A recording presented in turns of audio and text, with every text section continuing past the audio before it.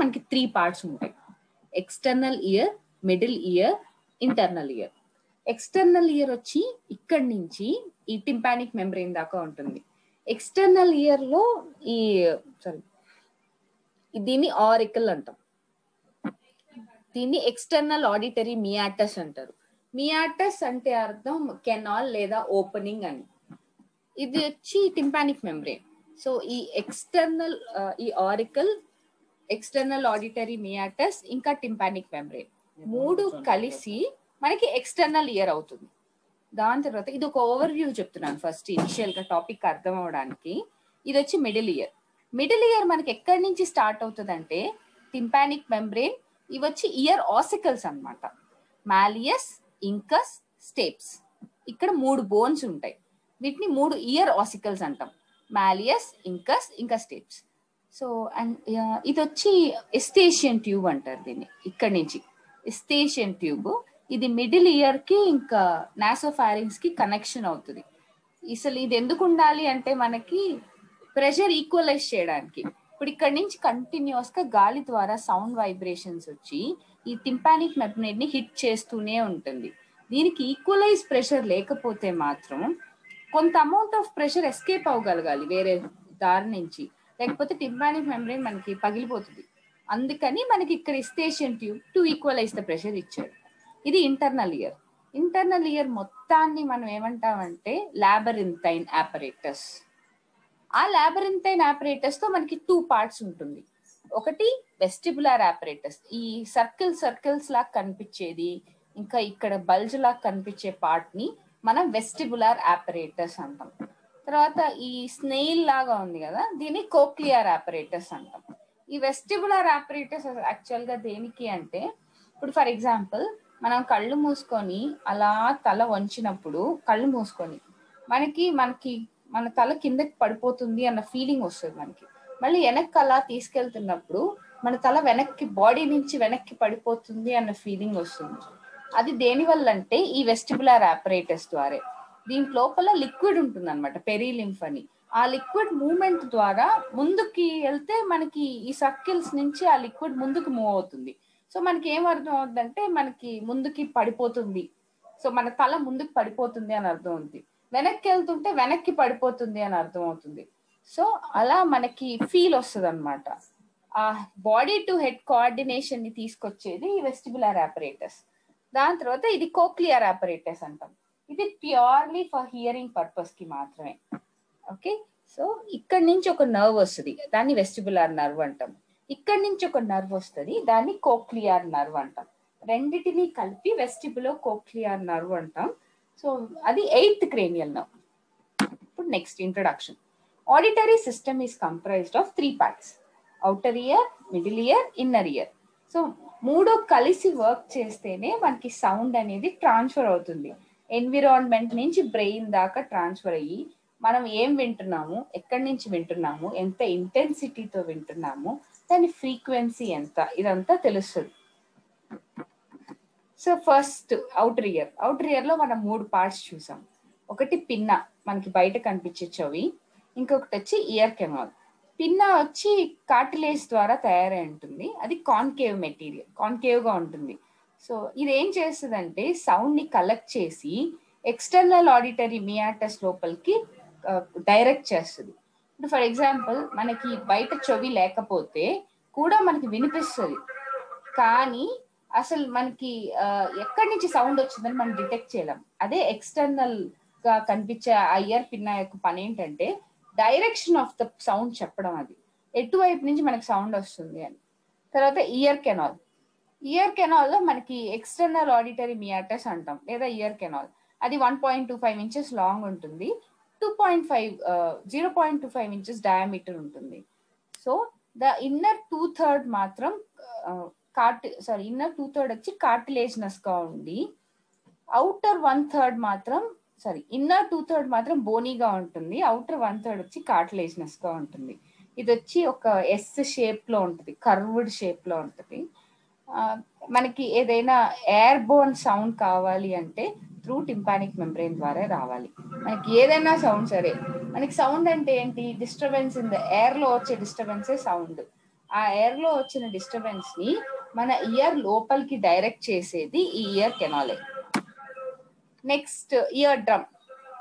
So ear canal resonates the sound waves. మనకి sound వేవ్స్ని యాక్చువల్గా మనకి బయట ఉండే సౌండ్ వేవ్ని ఇంటెన్సిటీ పెంచేది ఇయర్ డ్రమ్మే అది దాని లౌడ్నెస్ ఎంత వరకు పెంచుద్ది అంటే three thousand to four thousand hertz పెంచుద్ది.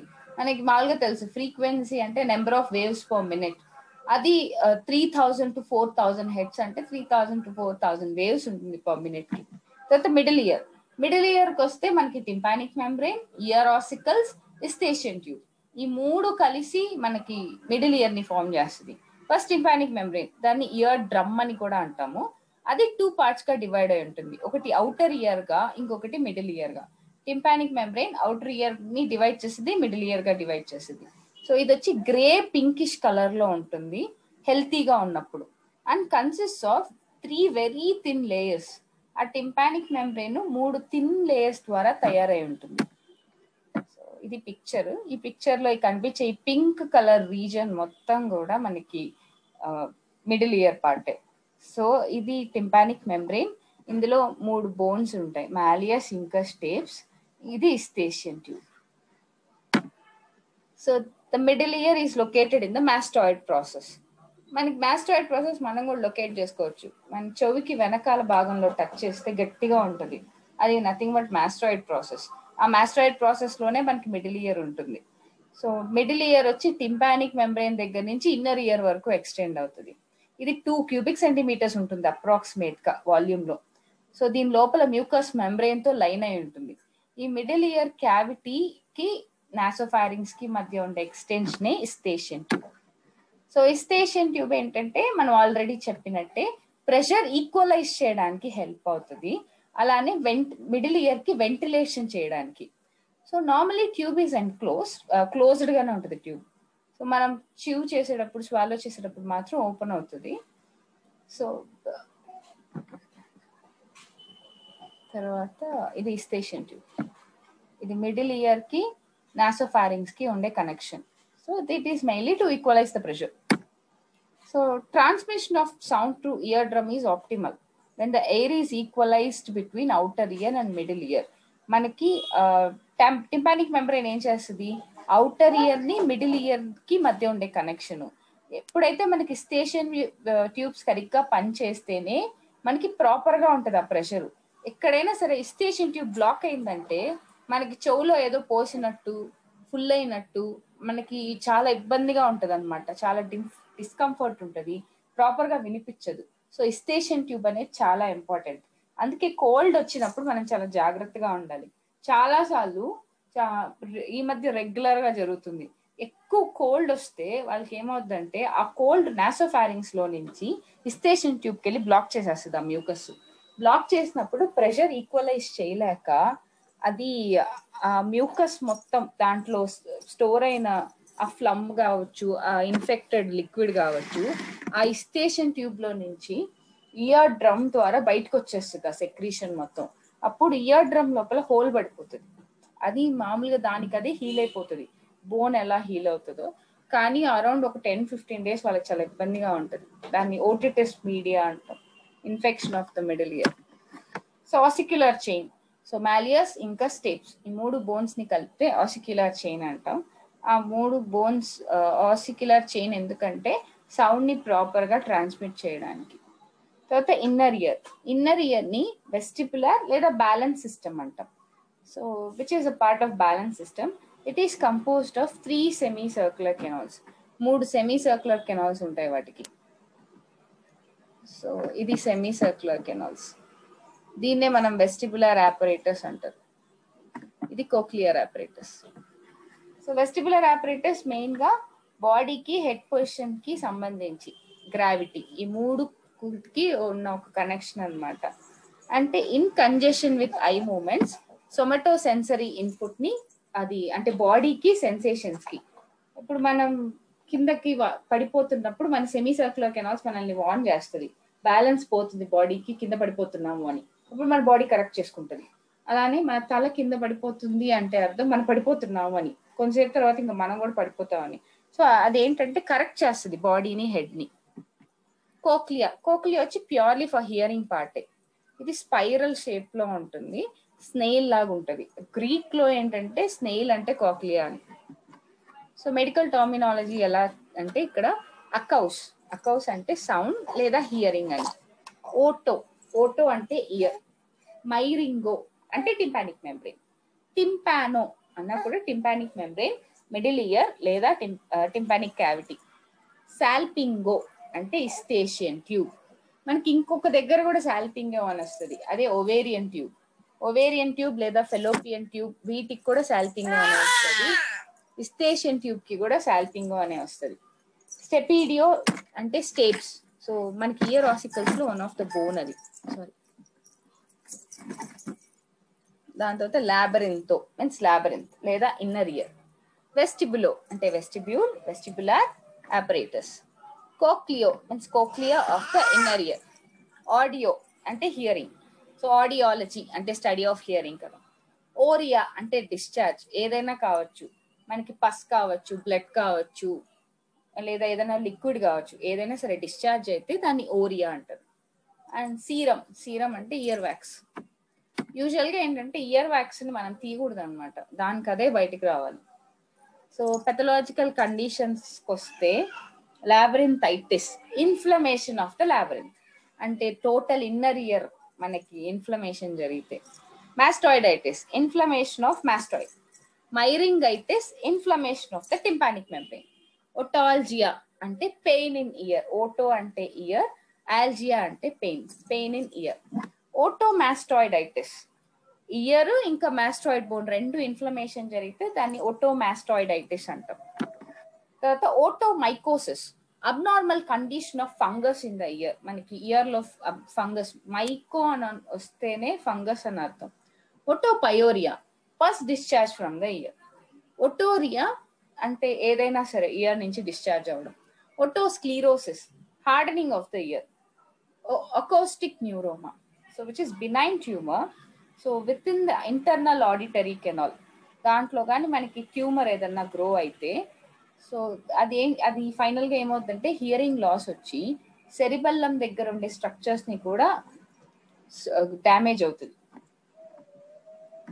సిరుమినోమా అంటే tumour of gland that secretes the ear wax cholesteatoma అంటే cyst like mass composed of epithelial cells so దాంట్లో కొలెస్ట్రాల్ ఉంటుంది కాబట్టి ఎక్కువగా ఇది మిడిల్ ఇయర్లో స్టోర్ అవుతుంది.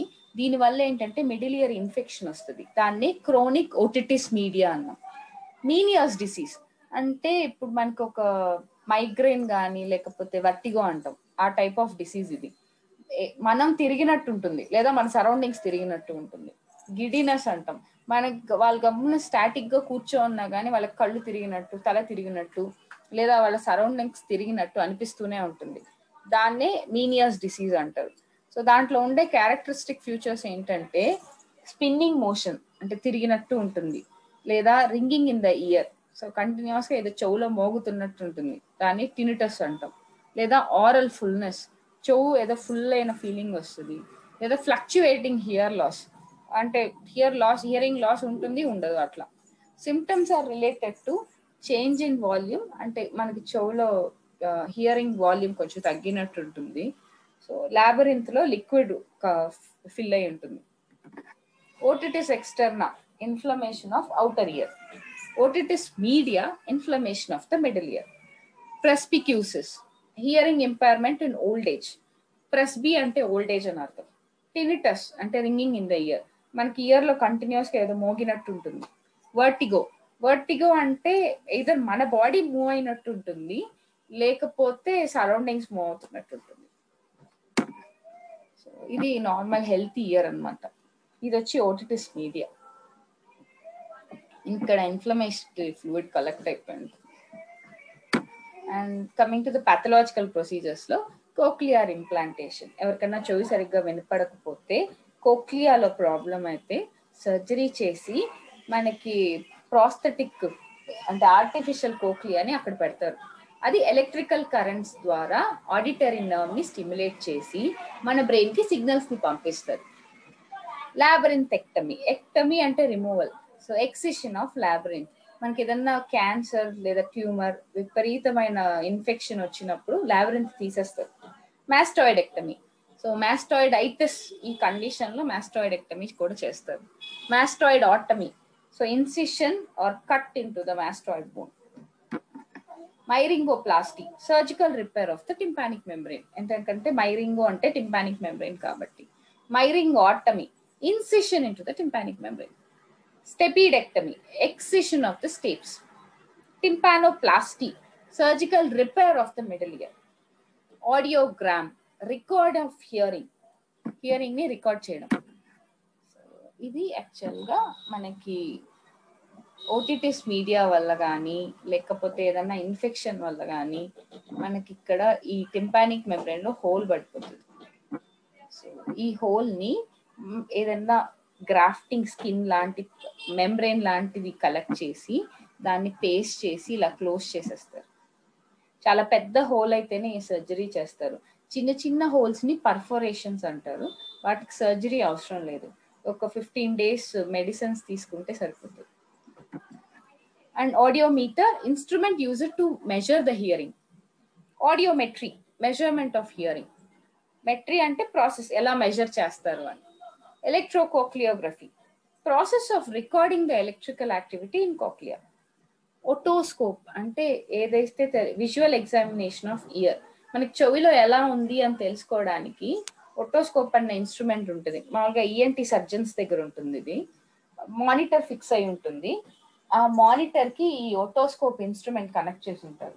ఈ ఇన్స్ట్రుమెంట్ చెవులో పెట్టినప్పుడు మన వాళ్ళ మానిటర్లో క్లియర్గా చూస్తారు. చెవులో ఎలా ఉంది? ఇది మోస్ట్లీ ఇన్ఫెక్షన్ హియరింగ్ లాస్ పేషెంట్స్కి ఓటోస్కోప్ పెట్టి చూసినప్పుడు క్లియర్గా తెలుస్తుంది లోపల సిచ్యువేషన్ ఏంటని. ఒటోస్కోపీ అంటే visual examination of ear tympanometer instrument use to measure the middle ear functions అదే టింపానోమెట్రీ అంటే అది ఎలా మెజర్ చేస్తారు అనేది. టింపానిక్ మెమరీని ఎలా మెజర్ చేస్తారు? Audiologist one who studies and specialises in hearing ఎవరైతే హియరింగ్ గురించి దాని గురించి చదువుతారో వాడిని ఆడియాలజిస్ట్ అంటారు audiology study of hearing aural అంటే related or pertaining to ear cochlear pertaining to cochlear otologist physician who studies and treats the diseases of the ear. Otology అంటే study of ear otorhinolaryngology physician అంటే ENT ని మనం medical టర్మ్స్లో otorhinolaryngologist అంటాం so physician who studies and treats the disease of ear nose and larynx vestibular vestibular అంటే pertaining or related to the vestibule vestibular cochlear pertaining to the vestibule and the cochlea O AOM అంటే acute otitis media అప్పుడే recent infection అనమాట ENT ear eyes nose and throat యూజువల్గా ENT ENT ఉంటుంది. ఇంకా super speciality వచ్చి ENT ENT అంటే మనకు తెలుసు. ఇయర్ నోస్ ఇంకా ట్రూట్ దీన్ని ట్రీట్ చేస్తారు. ఓఎం అంటే ఓటిటిస్ మీడియా అంటే రమ్య? చెప్పండి. ఇదే ఈఎన్టి టాపిక్. అర్థమైందా? ఓకే.